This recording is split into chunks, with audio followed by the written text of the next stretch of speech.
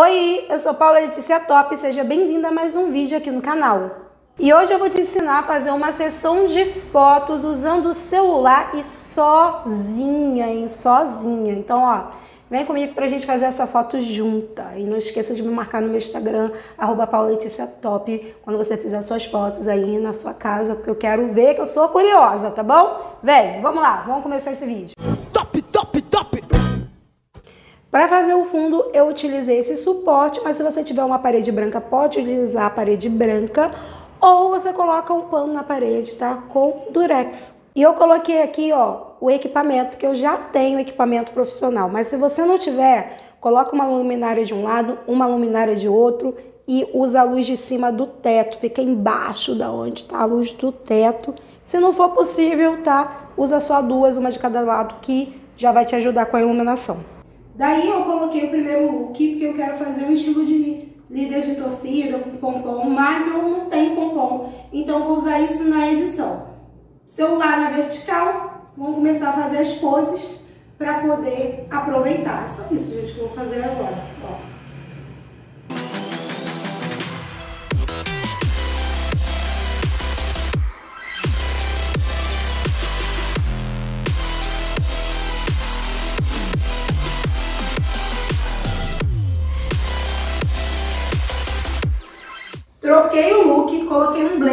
quero fazer uma pegada mais séria, com uma pitada de sensualidade. E vou usar o mesmo fundo, a mesma iluminação, não vou mudar nada. O que eu vou fazer é usar o celular, continuar usando no temporalizador. Mas se você não tiver como, você bota para gravar, faz um videozinho, fica fazendo as poses e, e do jeitinho que você for, tá? Vai brincando aí. E o que, que você faz? Tira print, amiga. É isso mesmo. Se tu não conseguir usar o temporizador do teu celular, faz um mini vídeo, tira print, que vai fazer o mesmo efeito, vai ficar ó, do babado. Fotos realizadas com sucesso. Agora a gente vai para o PixArt para poder adicionar os pompons e depois aplicar o filtro. E antes de eu ensinar para vocês, eu quero avisar que os meus presets, que são os filtros, já estão disponíveis para venda e eu vou deixar o link aqui na descrição. Então vamos lá, vamos abrir a foto, tá vendo? Eu tirei várias fotos assim, ó, fingindo que tô segurando os pompons. E vamos abrir uma delas que você tenha gostado mais no PixArt.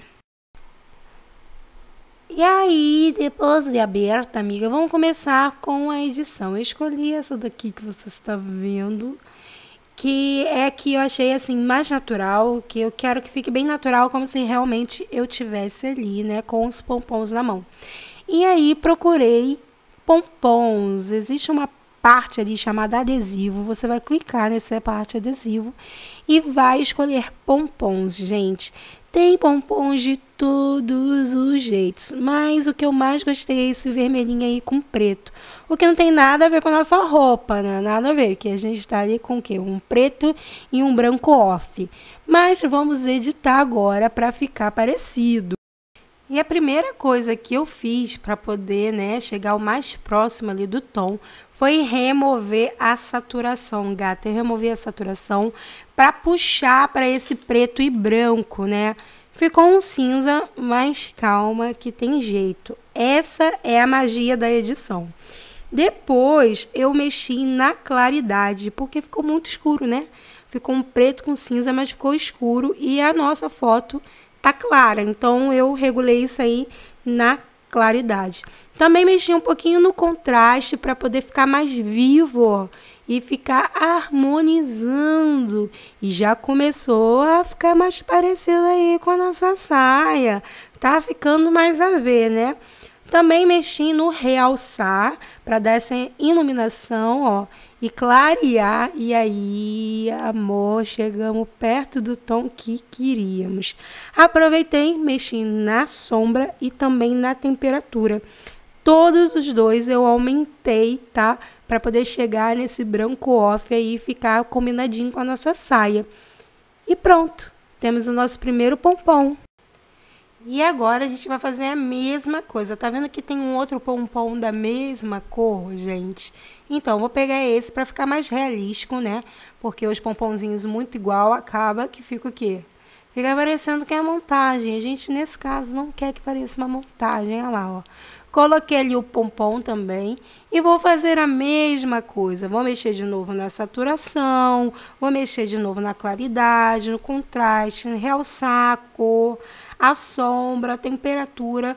Para criar o mesmo efeito que o outro lá e assim nós ficarmos igualzinho à saia e parecer que era real, que esse pompom realmente estava ali na nossa mão. E agora, gata, a gente, nesse pompom aqui, no segundo pompom, a gente também vai apagar. Vamos apagar aí do lado, onde tá, ó, na saia, para dar a impressão que ele está aí atrás, para dar a impressão que ele está em movimento, né? Fazer aquele efeitinho ficar mais o quê? Mais natural. É, gente, os detalhes fazem a diferença. Então vamos dar um zoom, né? E vamos apagar aí, ó, bem devagarzinho, paciência nesse momento, porque é esse momento aqui que se tu fizer errado, vai entregar de que foi feita uma montagem, tá? Então, ó, vai devagarzinho, devagarzinho com os dedinhos, dando zoom, ampliando bem, para que ele fique aí bem coladinho na nossa saia e dê a impressão que ele realmente naquele movimento ele foi parar lá atrás, sabe? E que tá tudo em movimento, que tá tudo harmonizando, ó. Tá vendo? Tem que ter paciência. Com paciência, você consegue fazer, consegue deixar tudo muito bonitinho. E se por acaso, ó, você exagerar, apagar demais, é só você vir no pincel, passar o pincel aí na parte e apagar de novo, até que você veja e fala assim, não, tá perfeito. Agora tá bom, agora não dá pra ver, só eu que vou ver, porque só eu que sei que eu mexi aqui. Aí, amiga, você pode dar ok, que já tá finalizada a sua foto. Porém, gata, eu fiquei assim, tá faltando alguma coisa tá faltando alguma coisa, vamos deixar isso aí mais bonito, vamos deixar aí mais tchan. E resolvi escrever cheers ali, que é né, o que você sempre vê escrito aí nas roupinhas das líderes de torcida. Eu falei, vou colocar, vou colocar. Quero ser uma team leader, uma cheerleader, sei lá como é que fala, mas quero ser uma líder de torcida nessa foto. E eu escrevi, fiquei escolhendo a fonte, demorei um pouquinho, que essa parte é demorada, você tem que ficar mexendo até escolher uma fonte que você goste.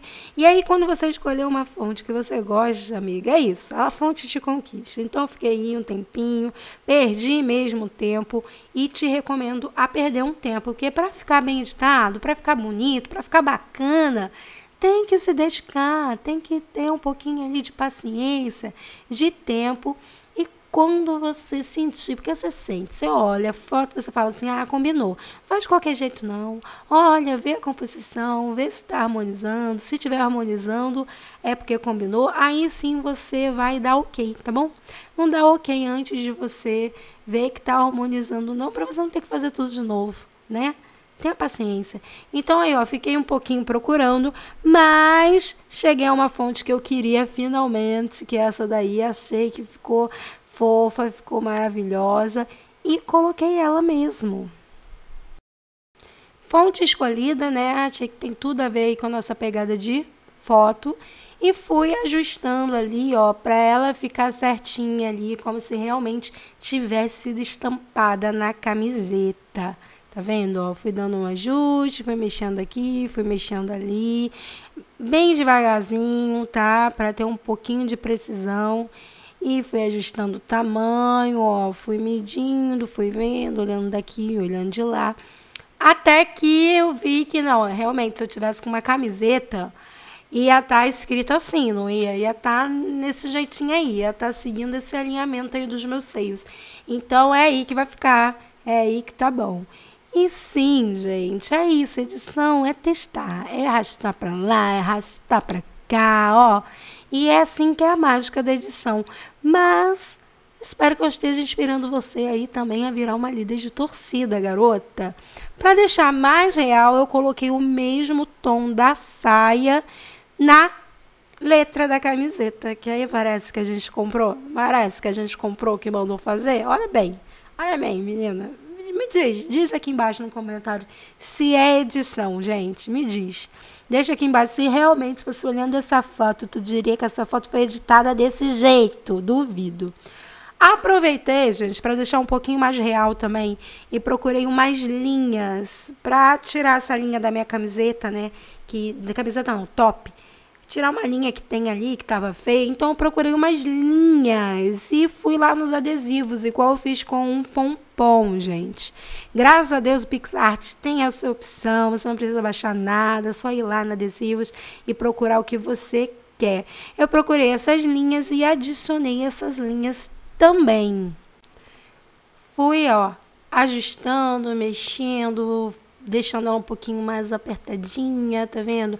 Para ficar assim mais delicada, para realmente parecer que foi estampado. A gente precisa se preocupar disso. E, e realmente, quando a gente faz uma edição, é, a gente precisa se preocupar em que ela fique o mais real e natural possível, porque senão fica com cara de montagem e aí não fica legal.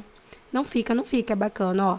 Coloquei ele em cima, ajustei e comecei a apagar. Fui apagando devagarzinho aqui, fui apagando devagarzinho ali. E pronto, gente. Pronto, olha só que tchan. Olha só que detalhe que ficou e como fez a diferença, amiga. Olha isso. Vai apagando devagarzinho, lembra? Para ficar ali, ó, com precisão.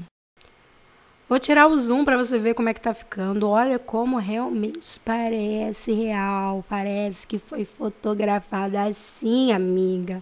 E olha só, eu também vou fazer a mesma coisa que eu fiz no pompom, porque essas linhas são adesivos, pra gente deixar tudo no mesmo tom e ficar mais real ainda, ficar mais real possível. E agora, né, depois que eu ajustar, vou mostrar para vocês o resultado desse ensaio. Essa foi a única foto que eu utilizei o PicArts, mas para todas as outras eu utilizei o Lightroom. E o Lightroom, cara, o Lightroom é um aplicativo muito utilizado pelas blogueiras para padronizar e deixar a tonalidade né, das fotos parecida e não deixar aquele feed bagunçado. Ele ajuda muito a organizar o feed porque ele deixa tudo com uma tonalidade muito próxima e dá sempre a impressão que você tirou a foto com a mesma câmera, né, com, com o mesmo aparelho celular. Então eu super recomendo. Inclusive, se você quiser, tem um link aqui embaixo desse preset para você que não sabe usar, só copiar e colar e utilizar nas suas fotos e poder ter o quê? O seu feed harmonizado, com as fotos tudo igualzinha, tudo bonitinho, nas tonalidades, né? Para parecer que foi aí um fotógrafo profissional quem fez, mas na verdade é você que está fazendo. E agora eu vou mostrar para vocês o resultado das fotos da sessão que eu fiz com o preset, gente, porque ficou incrível. Olha só como harmonizou, como ficou profissional. E ninguém diz que eu fiz em casa com o celular e sozinha. Vê aí, vê aí, se dá pra dizer que eu fiz sozinha. Dá nada, amiga. Fica aí com as fotos, porque estão maravilhosas. Então é isso, um super beijo, até o próximo vídeo. Tchau! Fui, mas eu volto, hein?